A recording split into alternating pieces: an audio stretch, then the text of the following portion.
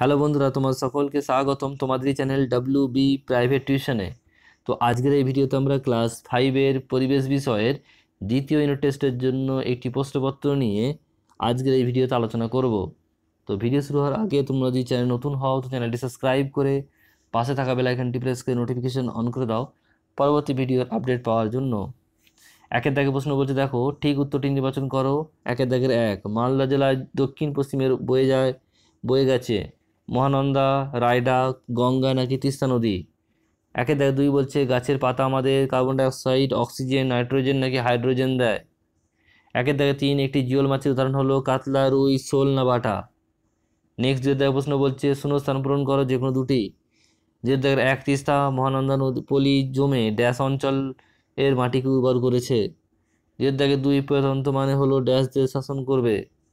Next দুয়ের দেখে, তিন বলছে মিনি ডিপ ড্যাশ দিলে, দিয়ে লোকে নিজের খুশি মতো চাষের জল তুলতো। তিনের দাগে প্রশ্ন বলছে, একটি একটি কথাই লেখো যে কোনো দুটি।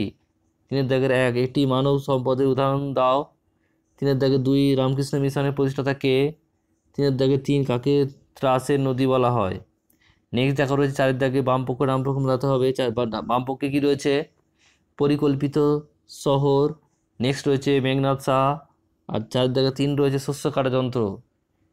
নেক্সট দেখো তো ডান ডান দিকে কী রয়েছে?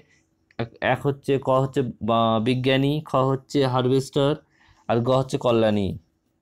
নেক্সট প্রশ্ন দেখো, পাঁচের দাগে অনধিক তিরিশ শব্দ লেখো যে কোনো দুটি। পাঁচের দাগের এক, সবুজ বিপ্লবের কুফলগুলি লেখো। পাঁচের দাগের দুই, কলকাতা শহরে বিশেষ বিশেষ বৈশিষ্ট্যগুলি আলোচনা করো। পাঁচের দাগের তিন, কয়লা কী কী কাজে ব্যবহার করা হয়? নেক্সট প্রশ্ন ছয়ের দাগের। অনধিক পঞ্চাশটি শব্দের উত্তর লেখো যে কোনো দুটি। ছয়ের দাগের এক। হারভেস্টার কি? এটা কি দিয়ে কি দিয়ে, এটা দিয়ে কি করা হয়?